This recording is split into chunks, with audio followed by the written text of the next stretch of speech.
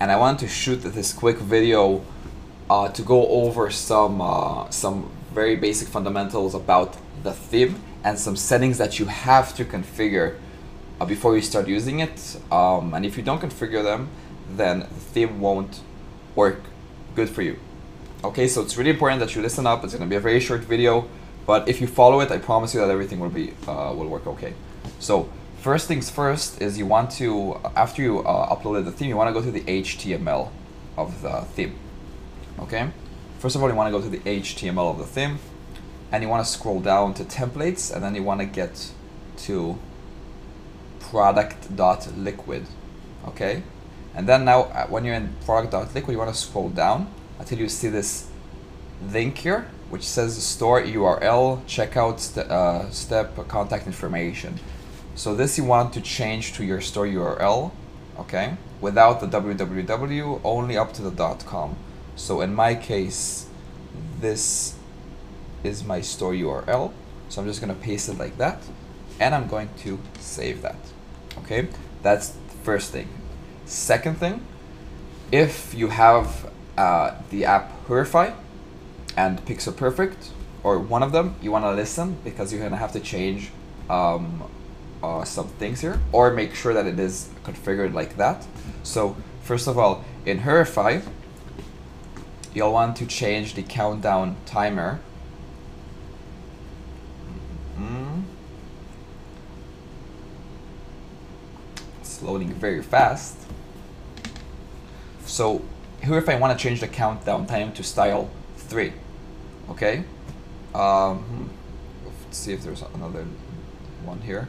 But no, actually, style 3, uh, you want to change it to style 3, and I, uh, me personally, personally, I think it actually looks the best. It's the most basic. Um, I don't like style 1, just like doesn't look professional to me. Style 2 um, as well because it's like on the left, I like it in the middle. So style 3 actually looks the best in my opinion and you're gonna need to set it to style 3 if you want it to work with the theme so you're gonna save that other than that there's a lot of other settings here that um, that I want that I configure myself for Hurrify but I'm not gonna go over that now. I'm gonna show it in the next uh, session of the videos. So other than Hurrify after you save that you want to go to Pixel Perfect. For those of you that are using it for those of you that aren't using it then you don't have to do this step. But it's a very very simple step. You want to go to Pixel settings and you want to scroll down and enable Ajax, Ajax cart. Okay, so if you scroll down, you see this Ajax cart enabled in your store, you want to click the on button. Now what that actually does is, for those of you that don't know what Ajax cart is, is it's an option in Shopify that lets, that makes your cart not go directly to the cart. So like in our theme, when you click the add to cart, you're not directed directly to the cart, you're still in the same product page. So that's called Ajax cart. Uh, as well, you know, sometimes when you add something to the cart and then like a side sidebar cart comes from the side and shows you what you have in the cart, that's Ajax as well. Any shopping cart that doesn't, any store that doesn't take you directly to the shopping cart after you click that cart is called an Ajax cart. So it's really important that you click the on button here and you want to save that, of course. And that's it for the settings. Okay, other than that, the theme should work okay but I'll go over some basic structure that I like to use myself for the theme that has never uh, never um, gave me any troubles. So you want to go, you want to go to customize theme.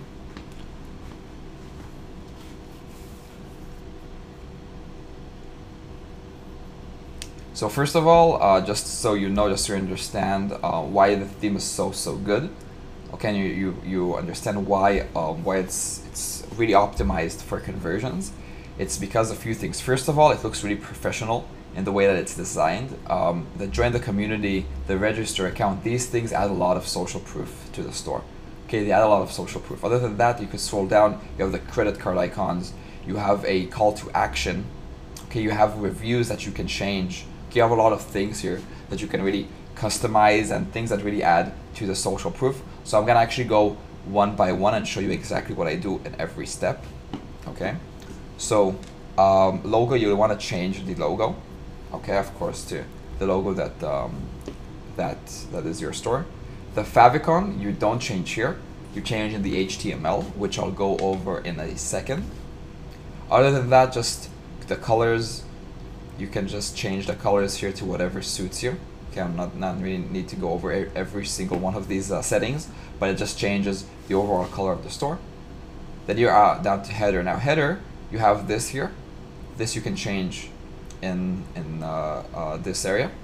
You can put whatever you want here. You can change that. Here it's really, really important that you change the join the community link. Okay, because this, uh, for me, it links to the register. Okay, for you it can link to whatever. You can write a coupon code here and then link them to a coupon page. Uh, you can uh, link here to a certain um, collection or whatever you want. For me, it's join the community. I can change that if I want. And the link is the register link. Okay, if you want to do the same as me, you can just copy the register link, okay, like this, copy link address, and paste it here. This, not important, not important, cool. Footer. So footer, you have a few options here as well. Um, so you have social media. If you want to add Facebook, uh, Twitter, whatever you want, you can add that here and use uh, uh, use the links to your pages.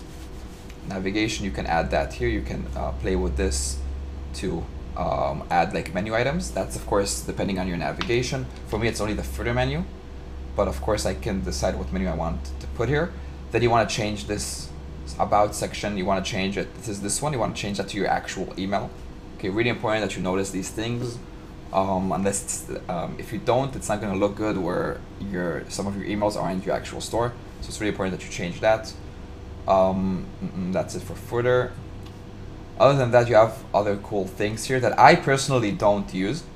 Okay, I personally don't use. I haven't experimented with them, but you can add images of your customers wearing your shirts, wearing your products, and it's really, really, really cool.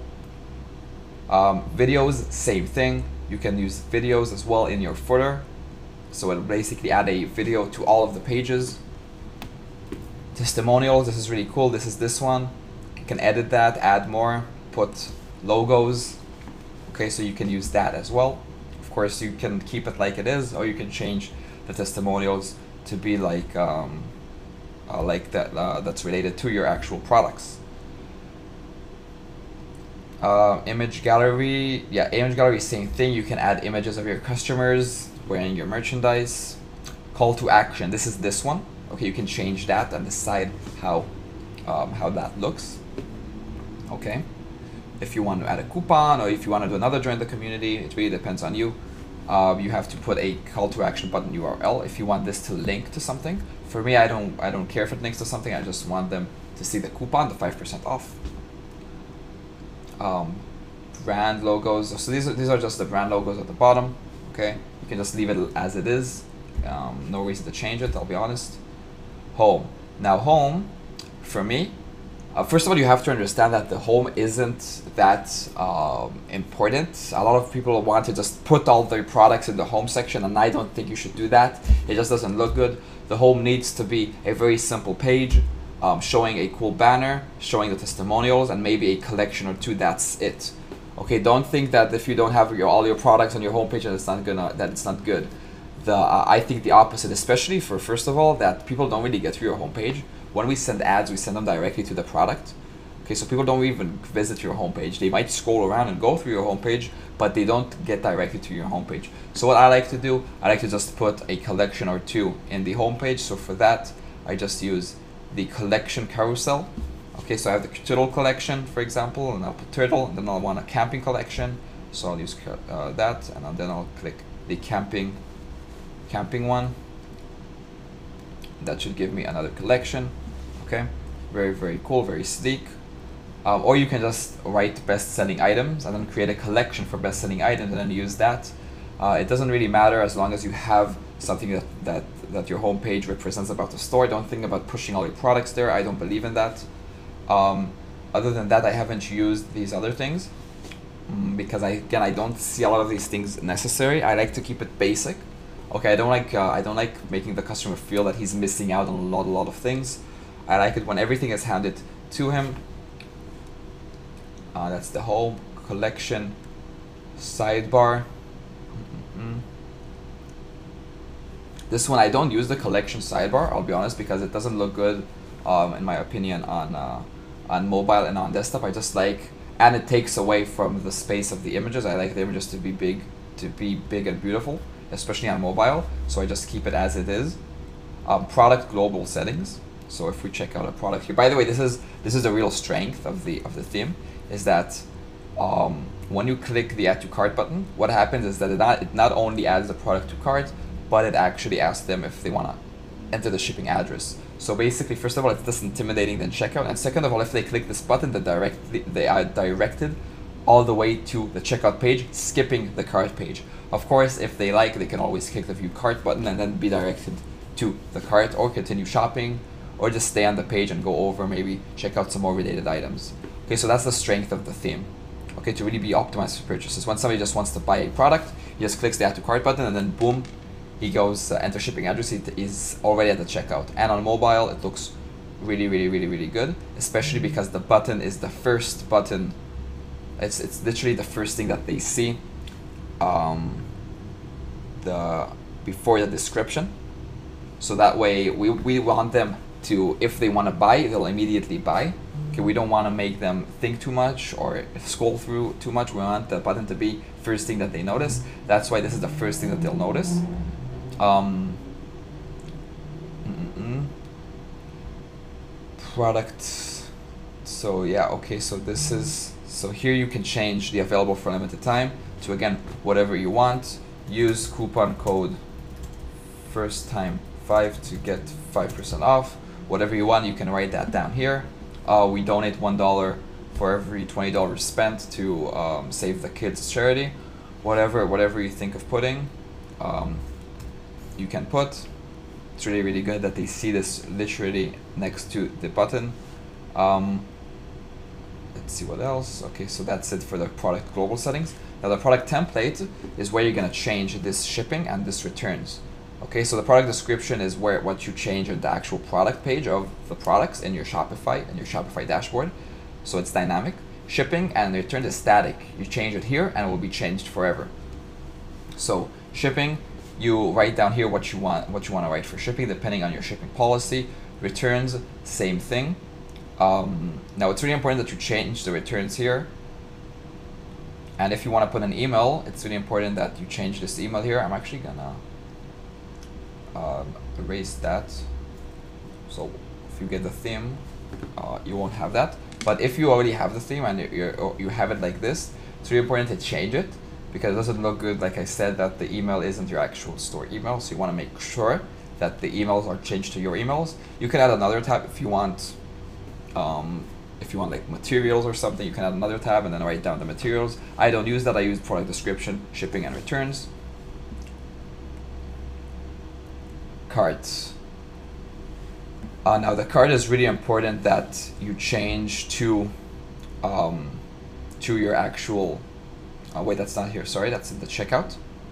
Checkout, same thing. You want to change the logo to being your store logo. This is what they see at the checkout page. Okay, so again, it will be this logo. So it's important that you change it to your own logo. Okay, really important because it's going to be pretty funny if they go to the checkout and they see a totally different logo. So you want to do that. Um, I don't deal with the background image. You can play with the position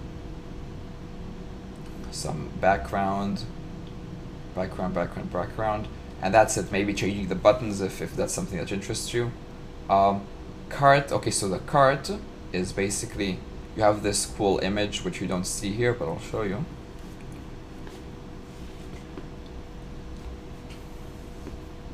So you have this cool image that you can change, okay? You can change this, I'll show you in a second how you can change that.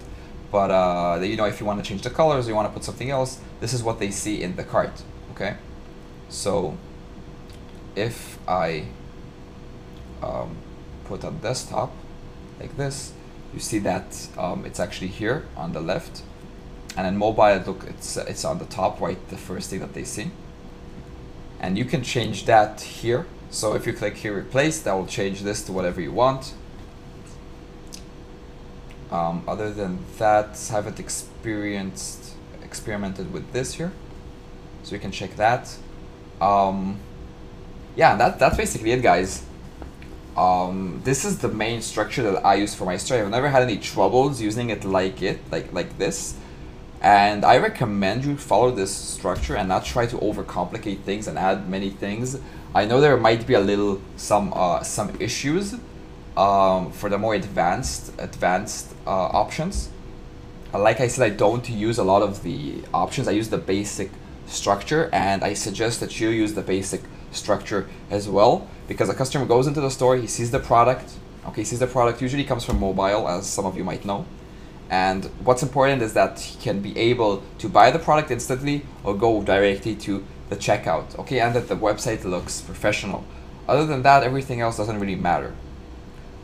It's really important that you keep everything simple, and this way it's as simple as possible. With the join the community, with the register, everything is really professional, directed towards um, having the customer, uh, directly towards having the customer eventually going in with nothing and going out with um, a product. Uh, let's see if I forgot anything else. Mm -mm -mm. So uh, another thing, um, if like I said, I talked about it before, but if you want to change uh, the favicon, and for example, if you want to change this, then it's really simple. You will just go to edit code, which is the HTML um, of the theme, and you're going to assets, and you'll want to go to the favicon which is this one, okay? You want to change that. So to change it, you just need to get an image, which is 32 by 32 pixels, okay, 32 by 32, and change the extension to .ico, okay? And call it, call it favicon.ico, delete this, okay? And then just add your uh, your own image to the assets by just clicking here and add a new asset, and you'll have uh, your favicon will work for you. Um, other than that, you to change uh, the the one uh, the picture below the add to cart, which is the payment gateways and the symbols. You go to the choose us.jpg. Um, I, I gave it a little test, so I I doodled it on it a bit, but it's really really simple to change this. If you want to change the colors or something, you just save it, and then uh, or you just take another picture and you delete this the choose us.jpg. You call your own file choose us.jpg. Uh, so don't forget choose lower lower line like that, uh, us.jpg, and you just upload that asset and that should work for you. Okay, other than that, uh, that's like the basic structure of the theme that has worked for me dozens of times, for my students dozens of times. All the results that you've seen were made through this theme. Um, well, I won't say all of them, but uh, most of them. And just so you know, the, the theme doesn't play a huge role in your success uh, you can use this theme if you like it. If you do not like it, you can use another theme. You'll still be successful with the strategies learned from the program. Okay, I use these. I use this theme. My students use this theme. The structure is built to be optimized for purchases, and it's been working really, really, really well. Um, other than that, guys, uh, if you have any more um, issues, and it's part of the advanced, if it's part of the other things that I didn't go over here today, I just recommend that you don't use it. Uh, one, because there's no reason. There's literally no reason to use it. Because the basic structure of what I showed you now is what I use and what I what brought me to my success. And as you can see, the theme uh, as it is works really, really, um, really, really well if you just go over the basic structure of having the product page look good, of having like the testimonials, the collection on the page, that's enough to bring you to insane success because that's what uh, that's what it's all about guys this is what it's all about having it uh, built basic and simple to get the customer come to come in with nothing and eventually go out with a product uh, sorry that you that there are some things that uh, issues that you might have had before but I'm sure with uh, with this uh, guide you you should fix um, all your issues and that's it guys that's it for now and like I said if you use it and if you don't use it, it doesn't matter. You will be successful. The theme plays such such a small role in the actual store. The main thing that's important in the store is of course how the store looks, but you can make a store look amazing no matter what theme you use. Until next time guys, bye bye.